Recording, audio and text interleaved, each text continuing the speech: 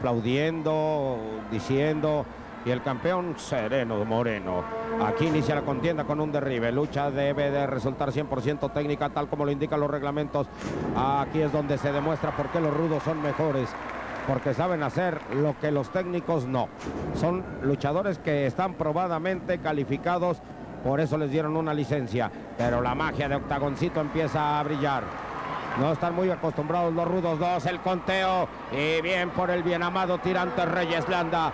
Que está haciendo el conteo de dos. Y aquí cuéntale. Uno, dos. Quedó en eso Jesús. Pues la emoción ha comenzado desde el principio, la inicial. Vaya manera de enganchar a este que es Yarrito Estrada. Lo pone a modo, vaya forma. Ahí con esa proyección después de candado a la cabeza, proyección a las cuerdas. Segadora para sacarlo fuera del encordado. Aquí comienza el brillo de una gran estrella, de lo que puede ser un nuevo campeón. Se impulsa de la segunda cuerda. Vaya giro mortal hacia atrás, se lo lleva en plancha y quedan en la duela de protección. Vemos a Yarrito Estrada, la gente emocionada. Yarrito Estrada en malas condiciones. Y en el amanecer de esta primer caída por el campeonato nacional de los minis, este octagoncito ya le ha puesto el garigoleado a la lucha. Ve aquí a esta dama, lo que decías Arturo desde que inició la lucha. Ha estado prendidísima y vea la forma, la euforia, la energía que descarga. Y reclama Hierrito Estrada que el conteo fatídico de los 20 de rigor lo sorprende. Octagoncito manejó bien la situación. Un mortal hacia atrás. Fue el punto final para llevarse esta primera caída. Y Octagoncito festeja junto con el mexicano esta primera caída. Y ya está más cerca del triunfo Octagoncito. Ya está más cerca de ser campeón nacional de los minis. Pero no hay que ir al agua tan temprano ya que pues todavía falta una caída o bien pueden ser dos caídas. Yerrito Estrada sin lugar a dudas, después de esto va a tener que sacar la casta de campeón y echarle toda la carne al asador, Arturo. Yo no sé por qué dudas que van a ser dos caídas. Las van a hacer y las va a ganar Hierrito. De eso no me cabe la menor duda. Porque golpes de suerte también los chaparros lo tienen. Televisa presente en Mérida, Yucatán con la emoción de la lucha libre triple A. Ha dado inicio ya la segunda caída don Ramón Castillo. Bien, así se inició esto. Hierrito estaba sacando la casta como habíamos apuntado en la primera caída. Al finalizar la primera caída, estamos en las escenas de la segunda. Aquí Hierrito Estrada, desducadora enorme que le acomodan a Octagoncito. Y es que Hierrito Estrada ya está enojado y quizás hasta desesperado porque pueden arrebatarle el campeonato nacional, Jesús. Pues no sería raro ya que se llevó este campeonato nacional no de muy buena manera. Recordamos lo que sucedió allá en Irapuato cuando Mascarita Sagrada lo sorprendió. Lo vuelven a sorprender ahora con el toque de espaldas, Octagoncito. Sí, decíamos que allá en Irapuato a Mascarita Sagrada le arrebataron, le robaron precisamente estos dos, es decir, Hierrito Estrada y el Tirantes, el campeonato. Pero eso ya no le preocupa porque ya es actualmente campeón mundial de mil estrellas. Ya cuando lo tienen aquí en una variante de medio cangrejo y palanca ahí con la rodilla bien encajada sobre la columna vertebral, trata de romper a base de fuerza Octagoncito, no se rinde. Para rendir a este hombre se necesita más fuerza, más castigo, más dolor, porque es un hombre todo, punto honor, todo, categoría doble, desnucadora de dolor. Ahí a Octagoncito y lo vuelven a castigar con la variante de medio cangrejo y palanca al brazo. Ahí dice Octagoncito, no pasa nada, no pasa nada. Y logra zafarse. Y escuchamos absolutamente todo. No hay verde y cosas por el estilo. Aquí está por lo pronto Hierrito Estrada, el actual monarca. Vaya manera de llevárselo al derribe de parte de Octagoncito. Aquí le está metiendo una palanca al brazo y castigo al cuello con la pierna. Si lo resiste, saldrá muy motivado porque vean ustedes. Ah, caray, pues parece que lo mordía, no, pero esa va a ser fuerza y de estamina. Muy bien por este campeón nacional aquí demostrando el por qué tiene derecho. Una de Aponi porque son chaparritos. Esta no es de a caballo, es de Aponi. Eh, vamos a ver qué dice Octagoncito. No, no, no, ve nada más cómo le tiene el rostro y qué capacidad tiene. También Octagoncito para hacer que se vuelva esta contienda fragorosa, más que emotiva. Ah, de un lado a otro. Ah, aquí está con evoluciones que hacen que el público se emocione en este Poliforum. ¡No! Vaya manera de volar y luego de enganchar. También el mexicano aplaude en la esquina. Va con media tijera. Y está Octagoncito más que motivado. Segadora que pone de estas malas condiciones Ramón a Hierrito. Bien, Hierrito Estrada, pudimos apreciar el rostro reflejando el dolor. Octagoncito va a las alturas. El público dice que no. Octagoncito está ya en la cúspide del cuadrilátero. Atención a esto. Hierrito Estrada ya se todavía en el centro. ¡Esquiva! Precisamente tal y como le dijera al público que no lo hiciera, si hubiera hecho caso, otro sería el destino. Si hubiera hecho caso desde hace muchos años, no se hubiera quedado chaparrito, hubiera comido verduras. Nada de eso, nada de eso, hombres que no por su estatura se destacan, pero sí por su categoría, porque la grandeza de un hombre se mide de la cabeza al cielo y no de la cabeza al suelo. Aquí está ya fallando este que es Octagoncito. Fue un foul, un foul. Y por esa razón ahí Hierrito Estrada está haciendo de las suyas. La gente está reclamando, está reclamando porque el Tirantes es un villano, es un verdadero malandro de la lucha libre. La gente le reclama.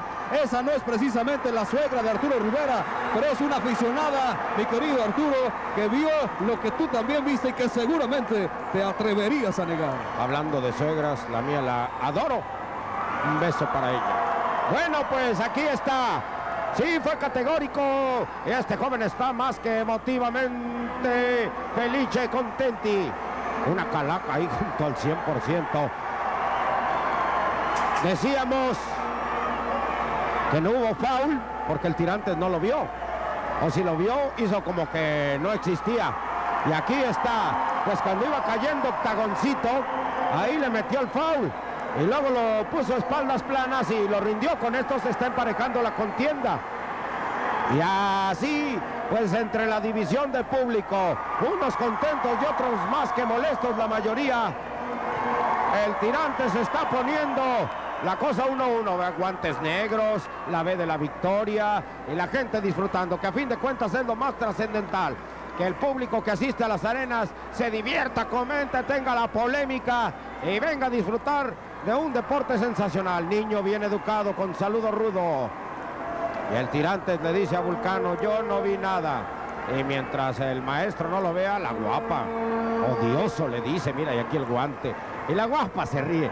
Se me hace se me hace que el tirante le cerró el ojo coquetonamente y ante la mirada del bien amado Reyes Landa, las damas caen subyugadas, Ramón. Bien, aquí el público sigue reprochando. Fuera, dice, fuera, fuera el tirantes. Y quieren correrlo. Aquí hasta el pequeñito que vemos allá al fondo le dice que se vaya. Y es que la verdad este Reyes Landa no tiene nombre. ¿Cómo se, pone tirantes. A, ¿Cómo se pone a calificar una lucha de campeonato nacional con esas trampillas que hace? Mira, lo ponen porque es el más capaz, es la estrella de todos los referees del mundo. Estrellado ha de ser, o estrellado que salga de aquí por... Eso no es justo en una lucha de campeonato. Pero bien, vamos a las acciones ya de la tercera caída. Sin lugar a dudas, la razón y la justicia tienen que estar de la, del lado de Octagoncito. Y este Hierrito Estrada, al igual que el Tirantes, van a encontrar su castigo por malandros. Aquí Tirante al brazo, vea la forma, una variante del tirabuzón ahí aplicada contra Octagoncito. Se acerca el Tirantes a pues a escuchar lo que diga Octagoncito y aquí está perfectamente rompiendo el castigo. Se va sobre él, trata de aplicar aquí la de a caballo o la de Aponi como dice que es Arturo Rivera en este caso de las minis. Es una variante, no es la, precisamente la de a caballo que conocemos. La de a caballo es sujetando el maxilar inferior. Aquí Octagoncito estaba sujetando de la zona frontal cuando Hierrito Estrada rompe el castigo. Es el second del rudo. Vulcano siguiendo de cerca. Si hay que estar atentos a estos second, sobre todo a Vulcano, porque como es rudo, se presta para hacer algunas triquiñuelas. Jesús Zúñiga. Sí, hay que estar muy pendiente de lo que haga ese Secon. Hasta el momento no ha, ha, habido problema aquí en una quebradora, porque sí, parece que sí, obviamente es un cangrejo, mi querido Ramón, pero decía yo quebradora porque lo estaba doblando casi por la mitad. Vaya forma de someter ahí a Octagoncito. Llega este que es el destructor número uno, Vulcano.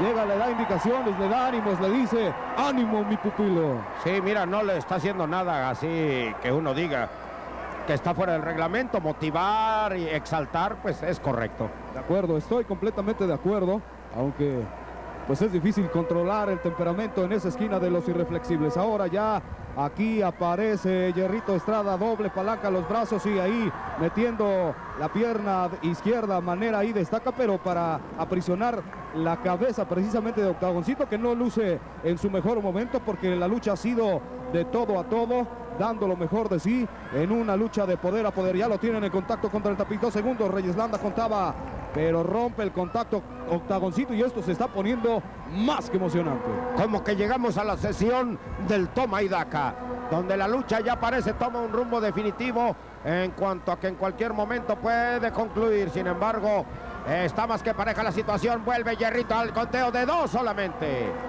Reyes Landa hasta se molesta porque no no fue el 3. Aquí lo regaña, le dice, pupilo, tú pagas los tacos de cochinita, los albutes y los papazules. Ah, qué cocina tan sabrosa la yucateca. Viene por lo pronto levantándolo. Aquí lo va a estrellar. Sí. ¡Ah, no! ¡Se lo llevó! ¡Qué bien! ¡Qué reacción! ¡Felina de octagoncito! ¡Dos! y rompe el castigo, pero lo que nos regaló Octagoncito es de primerísimo nivel. Así es, y esto ha despertado nuevamente al público de Mérida, Yucatán que creía que el campeonato lo iba a retener. Hierrito Estrada ya que estaba dominando todas las acciones de la tercera caída. Y aquí estamos observando cuando este Hierrito Estrada ha irrumpido ha tratado de amagar y humillar a Octagoncito y va a las alturas. Algunos dicen que no, inclusive el Tirantes, vea usted el Tirantes, vea de qué parte está, le dice Hierrito Estrada que no lo haga, Octagoncito esquiva. La rodilla, vaya golpe que se llevó ahí en la rodilla al saltar, golpe de antebrazo de Octagoncito, el público vuelve a vivir, ha metido, ha inyectado vida este público de Mérida Octagoncito cuando vuelve a creer en él. Le remata el rostro sujetando el cuero cabelludo en la las patadas voladoras bien aplicadas. Sale del encordado Yerrito Estrada. Aquí viene el vuelo. Atención a esto. Y Octagoncito como un auténtico misil nuclear con ojiva nuclear. Un scoop se quedó corto ante este lance soberbio por parte de Octagoncito contra la humanidad de Yerrito Estrada. Lo mantiene aquí, lo trata de levantar, aunque el peso es bastante diferente. Trata de llevarlo ahí hasta la barrera de protección en el que proyecta al poste es Octagoncito. Debe de aprovechar esta situación Octagoncito, de lo contrario aquí viene el sillazo y falla. Esto le salvó la vida Jesús. En una acción legal, el Tirantes ya debería de haber descalificado a Hierrito Estrada porque utilizar sillas como ahora lo está haciendo el propio Octagoncito está en contra del reglamento. Pero ¡ah! Equivoca ahí Hierrito Estrada. Trataba de atrapar distraído a Octagoncito. Sale entre segundo y tercero y se lleva con un tope suicida al Tirantes. Ahí quedan los dos. Aquí debería de contar Arturo los 20 segundos, pero el Tirantes siendo el referee, si está dañado fuera del encordado, ¿quién puede contar? Exactamente, ¿quién puede contar. Y aquí al mexicano está diciendo a la gente que cuente. Pero bueno, pues de qué sirve si Reyeslanda está fuera de la jugada. 17, 18, 19, 20 para la gente. Ya ganó octagoncito para la gente. Pero bueno, pues aquí esto todavía, como dirían el béisbol, esto no se acaba hasta que termina. Y no hay referee. Y eso es aprovechado en el momento por parte de Hierrito Estrada para pilas. Aquí está, pues Reyeslanda regresando. Ahí va Tropicazas. Ahí va, ahí va. Ahí está ya. Llegó a... a revivir a su compañero. Exacto. Y aquí la pasada en todo lo alto con vuelta de campana. Están las patadas faules Sototote de octagoncito. Faule Soto contra Refaule Sototote. Sube el Tropicazas. Uno, dos, tres. Con la vara que mide serás medido. Dicho. Y así Octagoncito llega al campeonato nacional de mini superestrellas.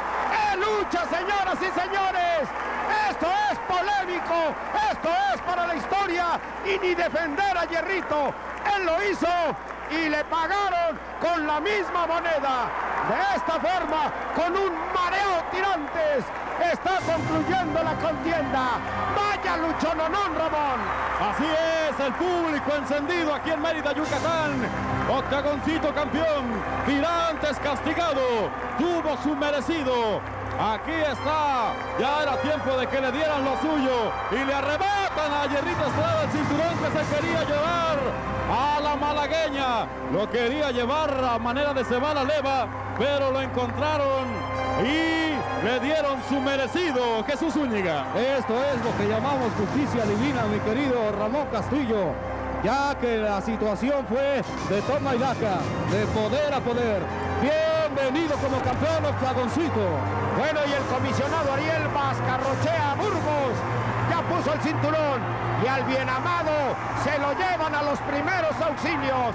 Vaya explosión de júbilo de la gente de Mérida, que vaya que vibró y gozó con la lucha. Y qué paquete les dejan a los que siguen. Ahora sí, le metió con todo. Hasta un calendario azteca le regalaron a Octagoncito. Y es que buenas tardes. Ustedes, así. Buenas tardes, bien amado público de Mérida. Estas son las luchas que hacen vibrar, que hacen gozar. Y Hierrito, así como arribó al campeonato, lo deja ir en la primera defensa. Yo soy el rudo, parece decir, pero la gente, la gente no perdona. Hasta Arturo Rivera se emocionó.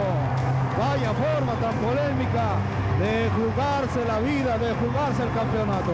Justicia divina, ya lo habíamos dicho. Primero lo cometió el foul, Jerrito Estrada. Después lo hizo Octagoncito, pero ¿sabes qué, Ramón? Aprovechó ese sentido de la oportunidad que todo gladiador que tiene categoría puede presumir. Octagoncito aprovechó el momento y por eso ahora es el nuevo campeón, el nuevo campeón nacional de mini estrellas por Televisa. Desde la Blanca Mérida, esta es la caravana tres veces estelar triple A.